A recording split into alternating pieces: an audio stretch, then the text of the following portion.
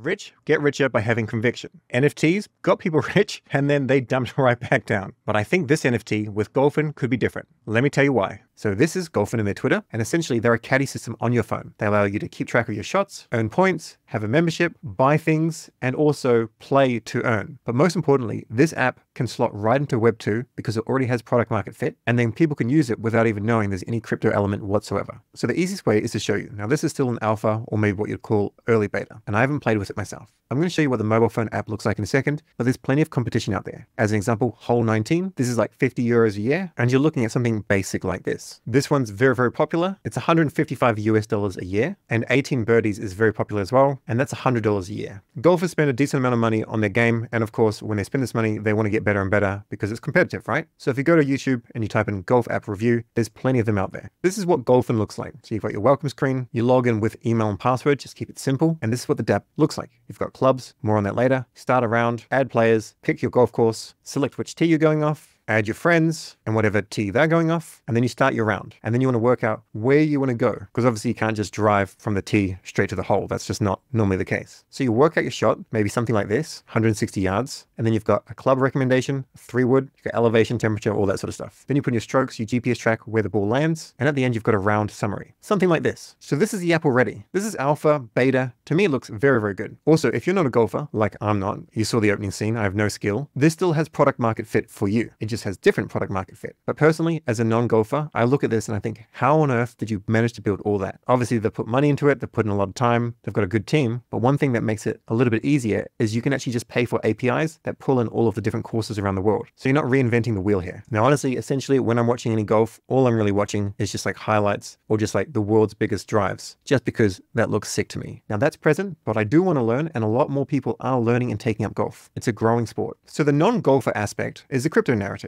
and this is where you collect NFTs. You collect the set, this set is in rented out, it gets extra points, and you get a share of that revenue. Now, this has already been done to a degree. Parallel is a trading card game. Haven't played it before, but it's big. And behind Parallel is Echelon. Echelon is the foundation. You probably know this already, but a lot of dApps have their own foundation set up in the Cayman Islands or something where it's a little bit friendlier with tokens. So as an example, I'm pretty sure like Kamino, Tensor, they have their dApps around the world, but the actual token comes from a foundation. It's in the Caymans. Likely you've got a similar setup with Echelon, and you do have a similar setup with GolfN. And then Echelon has a token. This has a market cap of like 374 million. I mentioned this just because it already has crypto product market fit. Someone's already done something similar, not golfing related, but something similar in terms of the trading cards, or rather the NFTs, and then separated off with the governance token. Also, Gunny is an advisor to GolfN. He's the founder of Hera Network, and he says it very well. It'll be linked below. Basically, you need apps in crypto that use crypto, that use the Solana blockchain. It's nice and fast, it's cheap, it works. You've got NFTs in the background, and then somebody actually uses an app and they have no idea that there's anything to do with crypto. Like you can buy a membership or you can buy credits with a credit card. You don't have to worry about USDC or anything like that. It's just a normal app. Only where the Web3 element comes in is a little bit different. So with Web3, it's about trying to use the people to be part of your team. It's decentralizing the power to a degree. So in other words, giving something back, like a reward system. That's something that doesn't happen in the Web2 world because essentially a company is for profit, completely for profit. Their mission and their mantra is to return as much money for the investors as possible. Web3, you need to be profitable, but you need to grow the pie. If you grow the pie and if you have a really hardcore community, they look after you and you look after them. So the foundation setup is Axiom. The GolfN token will be the token that's used in Axiom. And GolfN will be the first app, but there will be a lot more apps in the future, whatever ones have product market fit. Now, full disclosure, I own some of these NFTs. I bought them at pre-sale for 4Sol a few months ago. I then wanted to do a decent video on this, but I've already opened all of my NFTs, so the team has given me some in order to show how it's done. So we can call this sponsored, but I'm making the content, I'm making it my way, they're my views, and I am honestly bullish on this. So how I found out about this was from Jared. Jared is the CEO and founder. He did a chat for the Barrows members. The Barrows is a group created by Topo, and Trader Cos was also an advisor, and he was filling in some information. I remember the chat being massive, like over an hour long, and I still had so many questions. And that's why legitimately the purpose of this video is to condense all the alpha into one video. It's still decent in length, but when you've got a white paper that's 77 pages long, I'm sure you can understand why. Let's dive in a little bit further and let's go to the link tree. We'll come back to this, but the first one is join the app waitlist. This takes us to the website, and this is the GolfN website. Pay to play? No, you play to earn. If we scroll on down, right down to the bottom, bottom through every stage, keep on going down, we come down to this, read the white paper. Now, as I mentioned, this is 77 pages long, and my team has gone through it. We won't go through the white paper, instead we'll touch on some very important points, such as the fact that they secured $1.3 million in pre-seed funding just in June. And as the white paper covers, there's so much product market fit here. A quick Google will basically show you that the sport of golf is growing and growing. I think there was a decade when numbers fell, but golf is becoming very popular, especially amongst crypto people. Now also, the white paper covers things very extensively, and one thing that I immediately asked was, if it's play to earn, will it compare to STEPN? And if you don't know about STEPN, great idea, terrible execution, highly inflationary NFTs, people that jumped in got wrecked unless you got in very early, and the tokens went crazy and it imploded. So GolfN goes through a different model. So you set up your account, and as you know, you use an email or Google account, you don't use a wallet, it's Web2 friendly. You equip your clubs if you own some, otherwise you rent them. And remember, you're renting these NFTs, not real clubs. Then you buy a ball and then you play your round. Depending on your clubs, you get more points and then you earn more tokens. As it says here, the more you engage with your digital caddy by tracking shots and recording scores, playing with friends, and completing other activities, the more you earn. Rental rewards are split between the golfer and the NFT owner. So let's say as an example, you spend $4 to buy a ball. You buy this ball in the game, yet you earn maybe $8 worth of credits. How will this actually work without, you know, just destroying the entire infrastructure and everything in the game? You can't just give away free money. So the system used is a membership system. Now there are some clubhouses that charge like $186,000 a year just to play at their clubhouse. So golfers do have money. And we already know that these apps can be like 50 to $155 a year just for a basic Web2 app that gives you no perks. So memberships are not required to earn points, but they are required to rent clubs. And if you rent clubs, you earn more points. They have different tiers, and this essentially is a source of revenue. Because one thing that you can do is, let's say as an example, each month, the silver membership is like $40 a month, which is more than the other app, but you can earn more credits. And if you earn more credits, then of course, this works out really well for the golfer. They're getting something back. The average golfer spends three to four thousand dollars on golf per year. There's so many different expenses drivers, irons, wedges, putters, golf balls, and golf accessories. Even if you don't buy more equipment, you're still spending around two to two and a half thousand dollars per year on average. And as a bit of a comparison with STEPN, runners normally spend around 750 to $1,000 per year on their gear. So GolfN already has a market that will pay for what they want. Now, currently, the way golfing equipment works, you have a wholesaler. They have low prices. They then sell things to a retailer and things get marked up exceptionally. You, as a golfer, go and buy from the retailer. Sometimes you may even get 5 or 10% off, and you feel like you're getting a great deal. The system that GolfN is building is they go straight to the wholesaler. They get the golf clubs, and then they sell it to you at a discounted price. So they're still making money. That way, the entirety of GolfN actually is sustainable, but you're getting a better deal than what you get if you go to a retailer. So you add your clubs, you increase earnings, and these earnings can be used in multiple ways, but they can also be cashed out to the GolfN token if you want. Now, I've already mentioned this, but there's a decent amount of information covering everything. Stick with me though, this has product market fit. I know I keep saying it, it's just true. So I like this quote here. So Web3 is long overdue for a green grass play to earn experience. Play to earn emerged in Web3, and yet GolfN is one of the first projects to get serious about building a P2E gamification layer into a physical sport. At the average cost of $43 per round, golf is ripe for this transformation. So this caddy app, it rewards you for every round. It manages your social side games and tells you which club to hit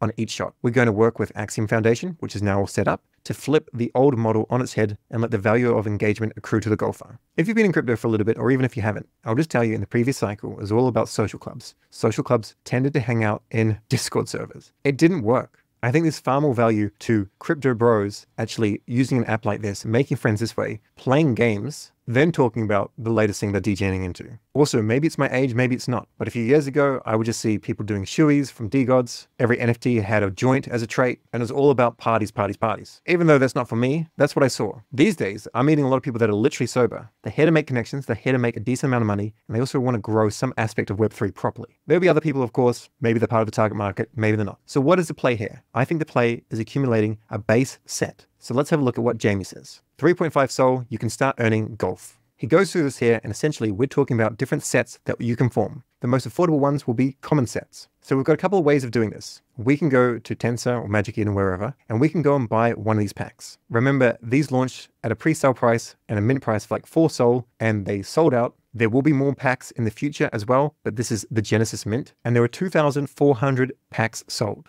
Sold back then, I think it was around $100. So these have climbed up. What Jamie's suggesting though is you go and form a base set just by buying the individual NFTs. Then we grab that set, we cache it, which I'll go over in a second, and we earn points that will change into the GolfN token in the future. You can get them on Magic Eden as well, and remember Sniper aggregates everything. In each pack, there's three cards, they can be completely random, and they have different levels of rarity. So given that one of these is 0.62 Sol, if you grab three of them, it'll be less than three Sol, so why would you go ahead and buy one of these? Well, it all comes down to the club. We'll go back to the Linktree and we'll explore the golf ecosystem. This takes us to axiomfoundation.io.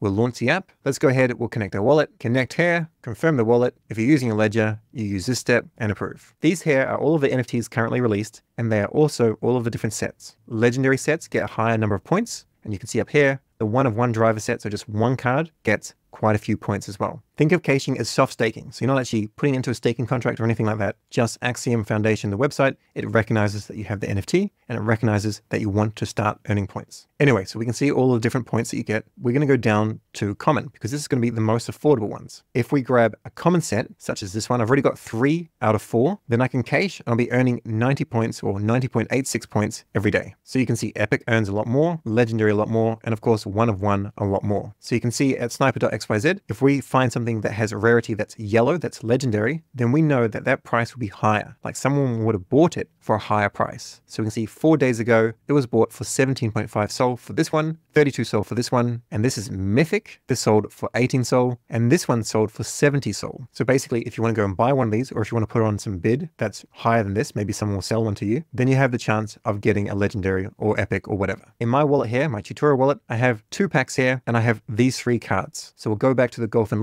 And open NFT packs. This uses its boots. So let's connect Solflare, connect, and LFG. Let's go. So I've got two packs. Let's go ahead and open this one and we'll open the pack a little bit in Sol and we lose the pack. And of course the pack will be burned. Approve the transaction and Boots will do its magic. Hole in one, just like that. Let's see what our cards are. So now we just rip this open, tear it open, and we're going to see our cards. Tap, uncommon, uncommon, and we've got a rare card. This is cool. Let's go and open the other one, LFG, open this, open the pack, and approve. We'll tear this open. Come on, legendary. I don't know how many more need to be minted, by the way, like how many more legendaries or epics are left in the collection that are basically going to be in the packs. You can jump into Discord to find out that because I'm sure that will change all the time. Okay, so we've got an uncommon, an uncommon, and an uncommon. No legendary, but I'm still happy. So we go back to Axiom Foundation. I've just done a quick refresh of the page and you can see I can build out a set. I need these two other clubs, so these two in order to create this rare set. And then with the uncommon set, I've got a couple of options. I could try and build them all out if I wanted to, or maybe I can go and sell this one and sell this one and buy these ones. Or if I wanted to collect a lot of these tokens that will of course turn into GolfN tokens in the future, then I can build out one set, cache it, build out another set, cache it, then build out the third set and then quickly uncache, quickly uncache. Then I'll have all of the clubs and then cache the whole set. Because if you do the math on 136 times 3, well, 478 is more. You can't cache all of these and this one. So if you have the full set, it is best to quickly uncache. So go and uncache within the same epoch. So this has 29 minutes remaining and then go and cache. You must do it in the same epoch, otherwise you're going to lose this level, which I'll go over shortly. Now, honestly, this is the best soft staking kind of platform I've ever seen. Staking, caching, soft staking, whatever you want to call it. This is the cleanest design I've ever seen in crypto. So as an example, I haven't done anything with a smart contract. It just knows that I have these in this wallet. And if I open up the uncommon driver set, I can see I'm missing these two because they haven't lit up with the color. And we also see the floor price here, 0.98 and basically one sol here. And if I wanted to sell this one, we can see the current floor price is one and this one is one sol as well. Then I can just click on this. It's going to show me who's cheaper, Tensor or Magic Eden. In this case, we'll go to Magic Eden. And on this occasion, Tensor is a cheaper place and you literally just click the link. And this is it, go and buy the floor. Now there's a lot to go through, but just touch on the fact that they have their own attributes. This is covered in one of the Medium posts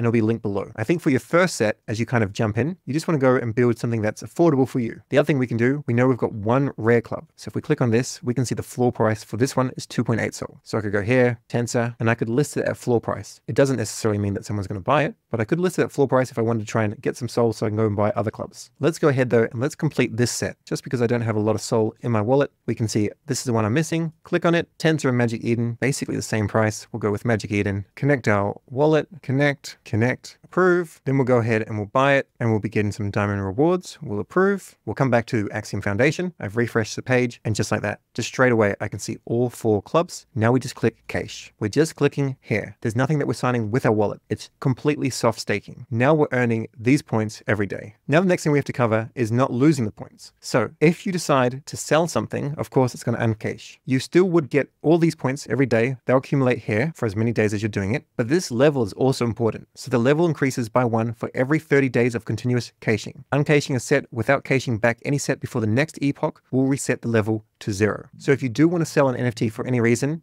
you will lose your level bonus unless you go and buy it or get it from another wallet and actually recache it within the same epoch. And one epoch is 24 hours. Up the top here, we've got my cards. You can see all of your cards and you can see at a glance what the floor price is and you can see your log of what you've been caching. Now it should be your goal to actually get this level as high as possible. Every 30 days, remember, it goes up because the higher level that you have, the more chance that your clubs will be rented out when someone doesn't own their own clubs. And I don't have an actual expectation in terms of what these tokens are going to be worth with GolfN. I just know it has product market fit, it has a Web2 audience, and this is the first thing that's being built. This golf token is an ecosystem governance token. They'll be pushing out a lot more things, different sporting apps, gambling apps, whatever. The first thing is golfing. The other thing to keep in mind is who knows what's going to happen with floor price. So if you want to, go and put in some bids that maybe they're lower than floor price. Maybe they get filled. Same with the cards. The difference between this and this, not too much. But if we go and have a look at, say, Mythic, well, this is clearly a bit of a different price here. And no one's going to go and instant sell this card for 0.47 Sol. But who knows? Maybe it's still worth going and putting it in at 10 Sol. I have no idea. My point is maybe you want to go put on some bids that are pretty decent, or maybe you want to ape now. It's up to you. So what comes next? Well, the team is, of course, beta testing the app. The next people to beta test will be people that actually have the NFTs. And then their plan is at the end of the year, around that time, it'll open up to the greater public. Also, there will be more NFTs in the future. We don't have a time when that's going to happen, but that will happen. And all of this takes a little bit of time to actually play out. However, I'm still ridiculously impressed with how fast this has actually happened. But you should see in the near future some things that you can go and spend your points on. And on top of all of this, they're also planning out events and also a clubhouse. How all that works, we'll have to cover another day. So in closing, I like golfing. I'm accumulating more points. If it interests you, do the same. And if you want to play golf, then get onto the waitlist. And the easiest way to get onto the waitlist so you can actually beta test this is to actually own NFTs and cache a set.